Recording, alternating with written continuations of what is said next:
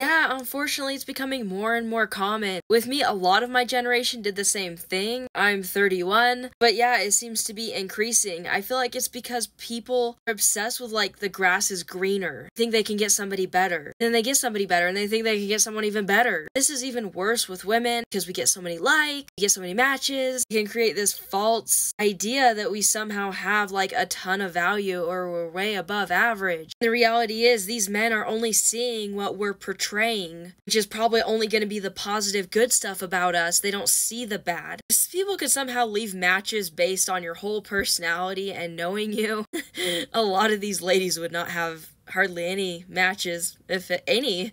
Just really unfortunate people throw away decent relationships. It can be built into really good ones. Like, that's a big part of a relationship people don't realize that it takes work, that you sort of build that relationship. It's not just automatic, he's mind reading. He give you everything that you like and want.